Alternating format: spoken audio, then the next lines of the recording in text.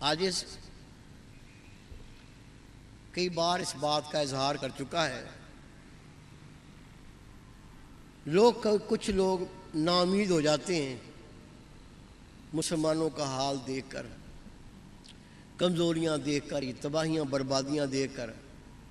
نامیدی کفر ہے نامید نہ ہوں۔ ایک وہ بھی وقت تھا مدارس کے اندر مدارس کے اندر صرف وہ داخلہ لیتا تھا جو کانا ہوتا تھا، اندھا ہوتا تھا یا لنگڑا ہوتا تھا۔ والدین کہتے تھے، اب یہ اسکول میں تو پڑھ نہیں سکتا، مدرسے میں داخل کرا دو۔ اور آج الحمدللہ انقلاب آ چکا ہے۔ انقلاب کی تکمیل صرف دیر ہے، انقلاب آ چکا۔ جو لوگ اس اللہ کے دین کے انقلاب کو پسند نہیں کرتے۔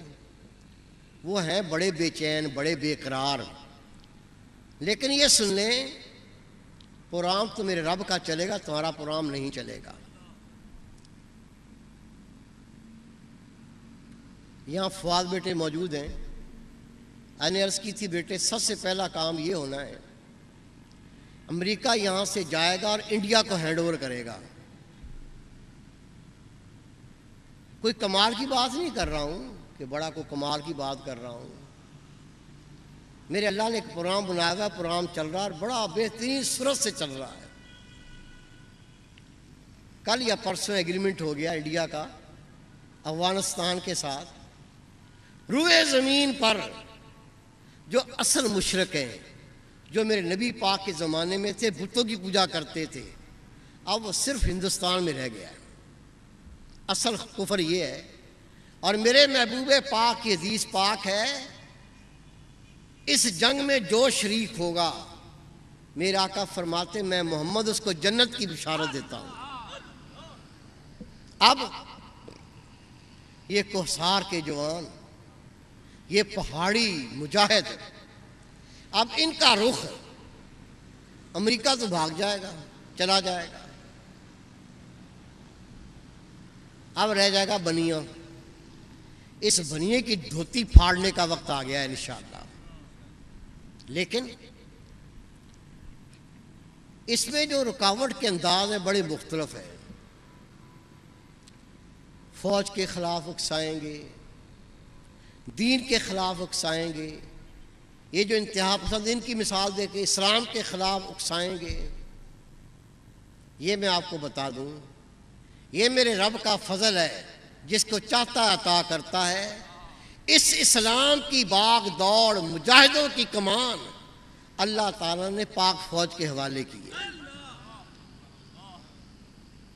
یہ وقت بہت قریب ہے اور آپ دیکھ رہے ہیں، ایک وقت تھا لوگ فوج کو گالیاں دیتے تھے کہ فوج میں غیرت نہیں ہے فوج میں حیا نہیں ہے۔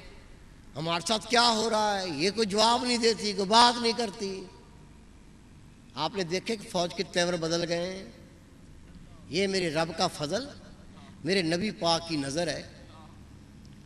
اور وہ کمان بننے میں دیر نہیں ہے۔ اور جو بندہ اب آئے گا، خدا کی قسم اللہ کا جلال بن کے آئے گا بتاؤ مسرتیں، مفاہمت، یہ چیز ختم ہو جائے گی۔ جو اللہ کے دین کے خلاف اٹھے گا، وہ اس کو زمین میں گسیڑ دے گا اور اس کی آنکھیں سبز ہوگی سن لو۔ وہ سبز آنکھوں والا مجاہد جب نگاہ اٹھائے گا، خدا کی قسم ظالم کو ظلم کرنے نہیں دے گا۔ چند سالوں کے اندر اندر، صدیاں نہیں کہہ رہا ہوں، چند سالوں کے اندر اندر اللہ نے اس پاک فوج کو عظمت دینی ہے۔ وہ شان دینی ہے، وہ مقام دینا ہے۔ یہ کوسار کے لوگ، یہ جو ایجنسیاں ہیں، پہاڑی لوگ ہیں، یہ ان کے دائیں بائیں ہوں گے۔ یہ اللہ کے مجاہد بندے کھڑے ہوں گے۔ کشمیر فتح ہوتے ہوتے ہندوستان فتح ہو جائے۔ کہیں ایسا نہ ہو، یہ قافلہ اللہ کے قریب ہوتا جا رہا ہو اور آپ دائیں بائیں کھڑے ہو کے وقت گزار دیں وقت ضائع کر دیں۔ حضرت امام ربانی مجدد الثانی رحمۃ اللہ علیہ آپ کے مکتوب ہے امام مہدی علیہ السلام میرے طریقے میں پیدا ہوں گے۔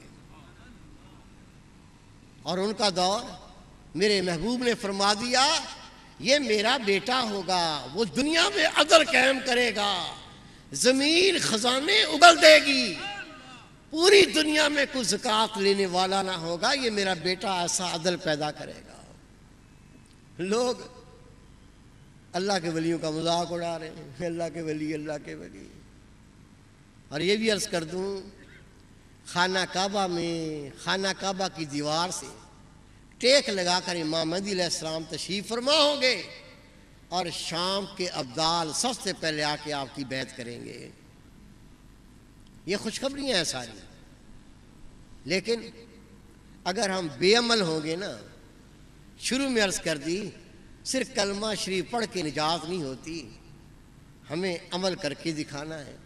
عمل کرنے کا طریقہ، اپنے آپ کو بدلنے کا طریقہ، اللہ کا سچا بندہ بننے کا طریقہ، رسول پاک کا سچا غلام بننے کا طریقہ، وہ عرض کرتا ہوں، ابھی آپ نے تھوڑی دیر پہلے حضرت علامہ مولانا محمد اشرف علی صاحب سے یہ حدیث پاک سنی ہے۔